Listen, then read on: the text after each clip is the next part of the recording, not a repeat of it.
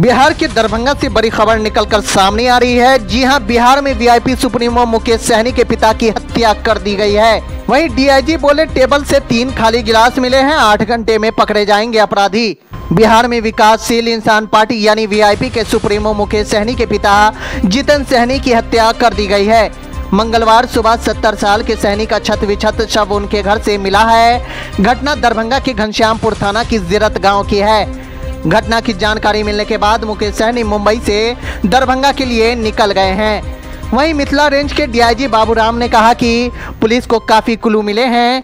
कमरा में टेबल से तीन खाली गिलास मिले हैं। उन्होंने दावा किया है कि आठ घंटे के अंदर हत्याकांड का खुलासा कर दिया जाएगा। पुलिस ने बताया कि सहनी को धारदार हथियार से हमला करके मारा गया है। उनके घर का सामान भी बिखरा पड़ा मिला है। इस लिहाज से पुलिस का मानना है कि चोरी का विरोध करने पर सहनी का मर्डर किए जाने की आशंका है। हत्या की जाँच के लिए एसआईटी बना दी गई है। दरभंगा के एसपी देहात इसे लीड करेंगे। जितेंद्र सहनी गाँव में बने घर में अकेले रहते थे। उनके दो बेटे मुकेश और संतोष हैं। मुकेश बिहार के पूर्व पशुपालन एवं मत्स्य संसाधन मंत्री रह चुके हैं। उन, उनकी एक बेटी भी है जिसकी शादी हो चुकी है। और वह मुंबई में रहती है। मुकेश सहनी की पार्टी वीआईपी आरजेडी और कांग्रेस के साथ बिहार में बने महागठबंधन में शामिल है। लोकसभा चुनाव के दौरान उन्होंने तेजस्वी यादव के साथ कई सभाएँ की है। देखिए, आप लोग देख रहे हैं कि ये घर गाँव के एक किनारे पे स्थित है। शायद इसीलिए रात में पड़ोसियों को सूचना नहीं मिली है।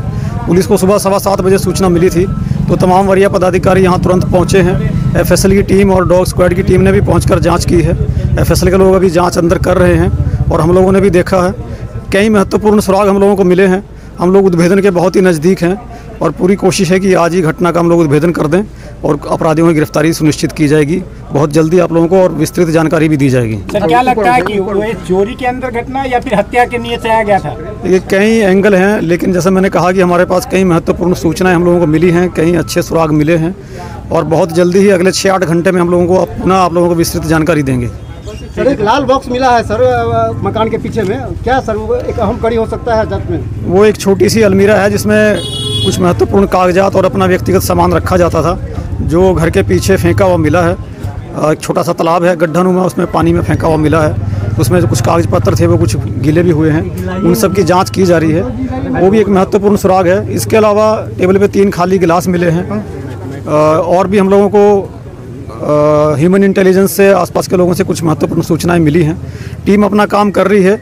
एसआईटी का गठन किया गया है। एसपी ग्रामीण के नेतृत्व में तमाम अनाध्यक्ष एस लोगों को इसमें शामिल किया गया है। सबको अनुसंधान के अलग अलग बिंदु पर काम बांटा गया है। सब लोग अपना काम कर रहे हैं और पूरी कोशिश है कि आज शाम तक इसको कर लेंगे।